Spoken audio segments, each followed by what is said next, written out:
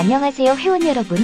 공제 가입뿐만 아니라 애프터 서비스에도 많은 신경을 쓰고 있는 진주동부새마을금고입니다. 오늘은 회원님께 사고 후 보상을 청구하는 방법에 대해 알려드리려고 합니다.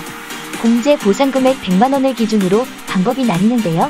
공제금이 100만원 초과 시 청구 방법부터 알아보겠습니다. 공제금이 100만원 초과 시에는 창구 접수만 가능합니다.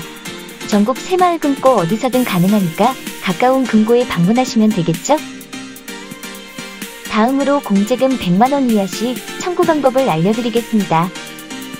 공제금이 100만원 이하라면 공제를 가입했던 금고의 비대면으로 접수가 가능하십니다. 우편과 팩스를 통한 접수 방법뿐만 아니라 새마을금고 홈페이지에서 인터넷 접수도 가능하십니다. 그렇다면 제출해야 할 서류는 무엇인지 설명드리겠습니다. 사고 후 공제보상 청구 서류는 어떤 게 있을까요?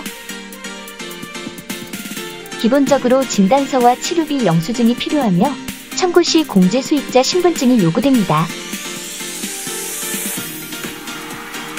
입원을 하신 경우시라면 입퇴원 확인서가 필요합니다. 만약 수술을 하셨다면 필요한 서류는 당연히 수술 확인서가 필요하겠죠? 공제 보상은 사고 발생일로부터 3년 안에 청구해야 보상금 지급이 가능한 점 꼭 기억해 주세요. 회원님께서 안정된 경제 생활을 영위하실 수 있도록 진주동부 새마을금고는 최선을 다하겠습니다. 공제보상 서비스 1등 금고 진주동부 새마을금고 또 다른 공제 애프터 서비스 관련 영상으로 찾아뵙겠습니다. 감사합니다.